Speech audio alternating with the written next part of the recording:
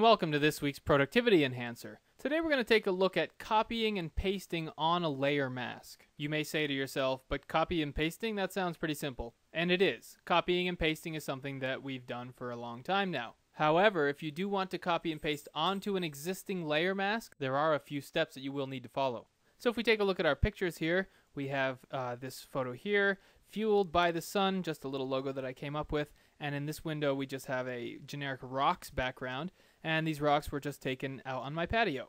So the effect that we're going for is to have these rocks overlaid on this photograph via a layer mask and make sure that that layer is activated over in the layers tab and then we can add a layer mask.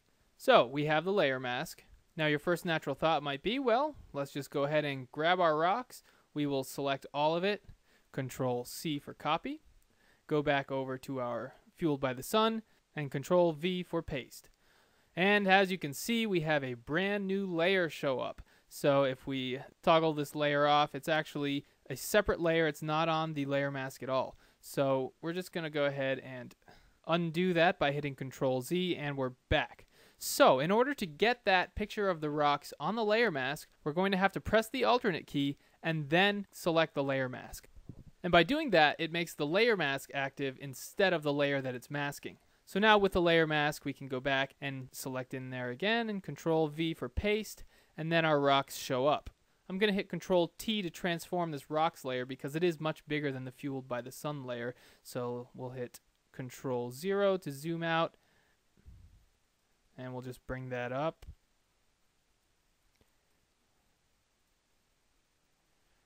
And just situate it right on top there. So we'll hit control 0 to bring it back normal to and select OK.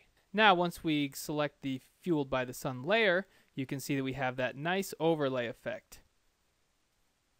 And there we go. We have Fueled by the Sun overlaid with some nice rocks. We can further refine that mask to make it look exactly how we want.